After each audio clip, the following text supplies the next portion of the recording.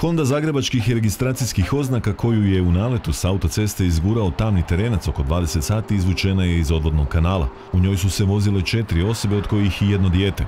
Tamni terenac kojeg očevici spominju vozio je prebrzo i trakom koja je predviđena za zaustavljanje, a potom je udario u Hondu koja je završila izvan ceste. U jednom trenutku započeo nepropisno pretjecanje tri vozila preko zaustavne trake a nakon toga preko desne prometne trake prešao na lijevu pretjecajnu prometnu traku, krećući se iza automobila Honda, kojim je upravljala 37-godišnjakinja, koja je u tom trenutku pretjecala također nepoznati teretni automobil s priključnim vozilom.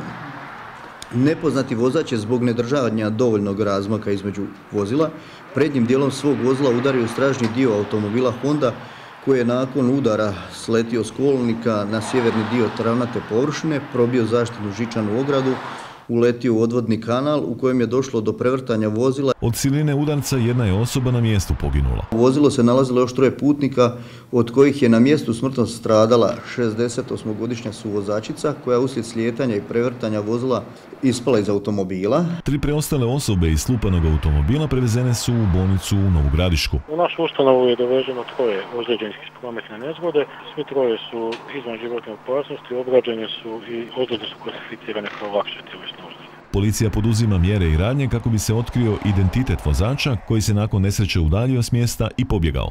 Nakon što je izazvao prometnu nesreću, nepoznati vozač se s vozilom bez zaustavljanja udaljio sjevernom kolničkom trakom u smjeru zapada.